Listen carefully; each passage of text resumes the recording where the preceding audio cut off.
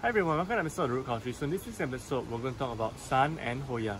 So typically, Hoyas are pretty versatile plants. So let's begin. Let's take a look at some of the Hoyas that uh, have dual colors and we'll talk a little bit more about it. Take a look at this nummularioides.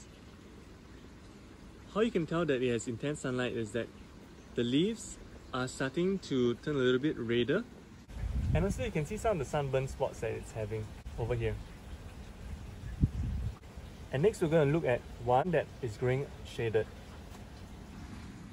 And so this is grown under a dappled or shaded environment where they do receive a bit of morning sun. The leaves are greener and you don't see the sunburn spots that we saw just now.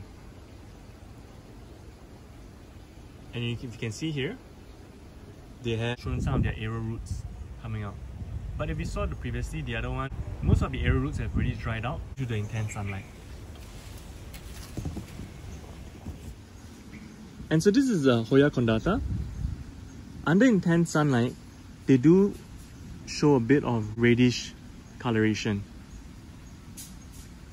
So this one has a bit more direct sunlight, but not intense in a sense that they would totally turn red. So we're going to see one that is grown under slightly shaded condition and you can see the leaves are totally green.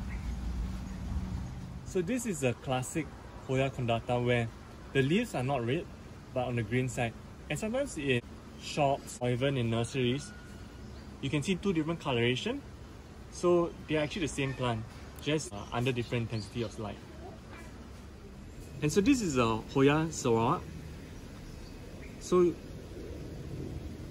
this is one that has grown under shade and you can see that its leaves are on the greener side. So we're going to see one that does not grow under shade but more in intense sunlight. This is another Hoya Sarawak. And you can see under intense sunlight, the reddish coloration is starting to show and also the veins are more intense.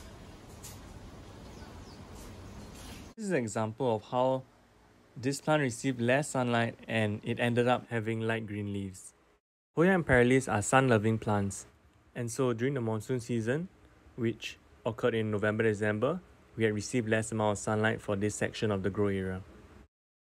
But here you can see the new growth are starting to have a large green color and that's because it's been receiving more sunlight. So now to conclude this video, we have taken a look at some examples of how the sun intensity affects the different coloration of the Hoyas. As we looked at the Condata, the Sarawak, the Nummularioides.